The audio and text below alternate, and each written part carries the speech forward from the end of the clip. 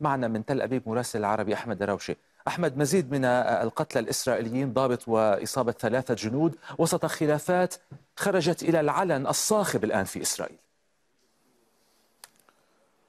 بالفعل والخلافات هي على الاستمرار في هذه الحرب على قطاع غزة والتوجه نحو صفقة تبادل أسرى بحسب صحيفة دعوت أحرنوت اليوم فإن شعورا من المرارة يطغى على الإسرائيليين هذه الفترة نتيجة لإعلان وزير الأمن الإسرائيلي يوأف جالنت الانتقال إلى مرحلة ثالثة من الحرب على قطاع غزة لكن هذا الإعلان لم يترافق مع مع إعلان التوجه بشكل واضح نحو صفقة تبادل الأسرى أو إعلان عن تقدم في هذه الصفقة. الصفقة وهناك شعور آه، عند كثير من الإسرائيليين أن إسرائيل فوتت فرصة أو أن تكون آه، لحظة الانتقال إلى المرحلة الثالثة من هذه الحرب أن تكون لحظة الإعلان عن تقدم في مفاوضات صفقة تبادل الأسرى والاتهامات توجه بطبيعة الحال إلى رئيس الوزراء الإسرائيلي بنيامين نتنياهو الذي منع نقاشات سياسية مهمة خلال الفترة الماضية منها نقاش حول صفقة تبادل الأسرى ومنها نقاش حول اليوم التالي لقطاع غزة. الإسرائيليون يدعون أنهم انتقلوا إلى مرحلة ثالثة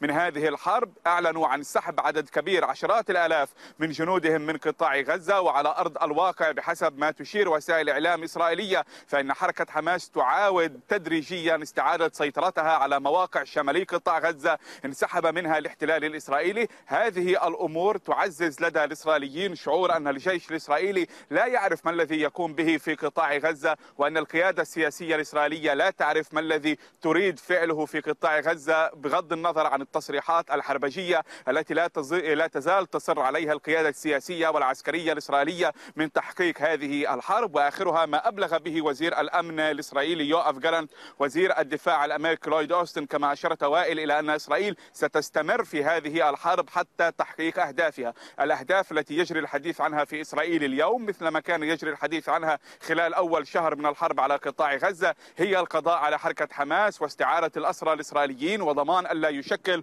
قطاع غزة تهديدا على إسرائيل لكن هناك قناعة متزايدة يعبر عنها في استطلاعات الرأي في إسرائيل أنه لا يمكن في الوقت ذاته القضاء على حركة حماس واستعادة الأسرى الإسرائيليين من قطاع غزة. بحسب استطلاع نشرته صحيفة يدعو تحرينوت اليوم فإن أكثر من 40% من الإسرائيليين يفضلون صفقة تبادل أسرى لاستعادة الأسرى الإسرائيليين. هذه النسبة كانت متدنية جدا في أكتوبر الماضي. نتحدث عن آه، تقريبا 20% من الإسرائيليين الذين كانوا يؤيدون هذا الأمر. لكن النسبة الآن ترتفع. هناك قناعة متزايدة. ولو أن قلة إسرائيلية فقط تعبر عنها على المستوى العام بأن الطريقة الوحيدة لاستعادة الأسرى الإسرائيليين من قطاع غزة واستعادتهم أحياء هي عبر صفقة تبادل الأسرى. بالأمس قال العضو عضو مجلس الحرب الإسرائيلي الوزير الحالي جادي أيزنكوت ورئيس أركان الجيش الإسرائيلي الأسبق إن أي إن كل ما يروج للإسرائيليين بإمكانية استعادة الأسرى من قطاع غزة بعملية كوماندوز برية أو أو حول الحرب البرية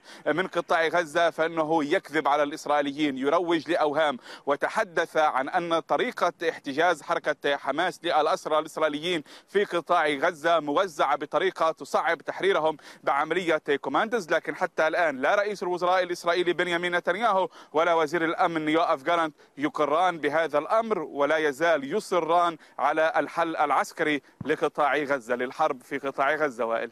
شكرا لك يا أحمد. أحمد دراوشي في تل أبيب.